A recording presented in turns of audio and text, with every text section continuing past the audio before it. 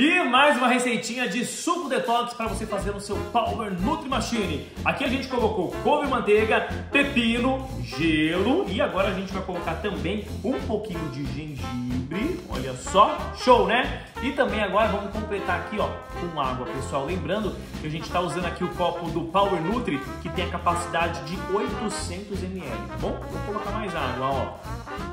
Show! Vamos tampar agora com as super lâminas extratoras para a gente poder micronizar esse suco aqui e ficar maravilhoso. E agora é só a gente apertar a tecla misturar.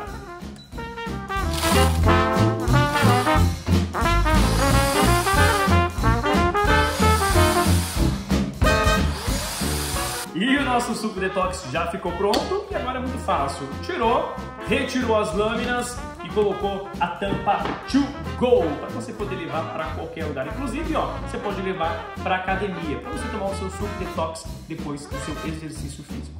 Fico por aqui, galera.